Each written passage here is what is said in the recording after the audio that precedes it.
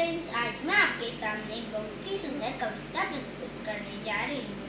जिसका शीर्षक है किरण, जिसके कवि हैं निरंकार देव जी। तो चलिए शुरू करते हैं। अरे किरण, तू उठकर इतनी जल्दी आज चली आई।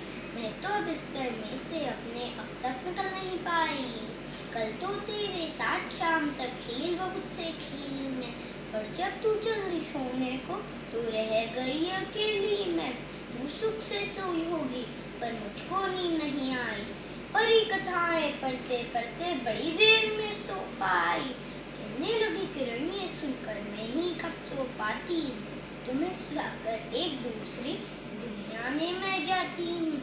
बच्चे जो बिस्तर में सोए होते, उन्हें जगाती हूँ। वहाँ शाम हो जाती है तो लौटियों फिर आती हूँ। धन्यवाद।